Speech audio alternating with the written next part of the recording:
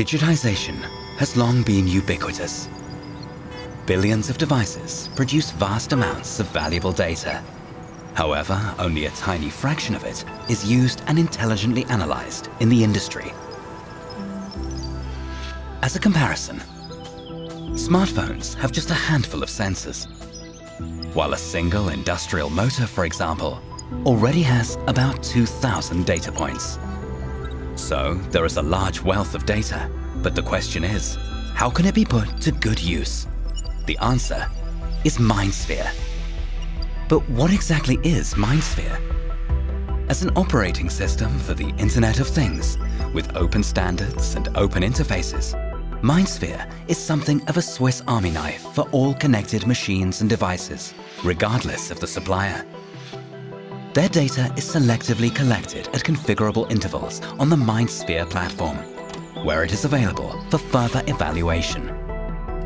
Of course, that comes in accordance with the strictest cybersecurity standards and only for authorized users. The bottom line, the data can now easily be linked and brought into relation with each other in order to obtain new insights that have been unimaginable before.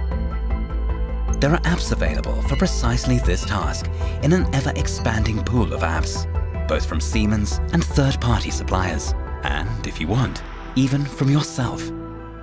Companies can optimize their products by evaluating how, where, and under what conditions their product is used. These insights can immediately be fed back into the production and design process to make the product more efficient and more practical. The advantage? You obtain concrete application data from real assets, virtually in real time, and you do not have to resort to generic test data. Cities and entire societies can also profit from MindSphere. Huge amounts of data are generated in the proactive maintenance of trains, the optimization of traffic flows, or with decentralized energy systems. And all these data sets can now be combined with each other and provide completely new insights. With MindSphere, we put that wealth of data to good use.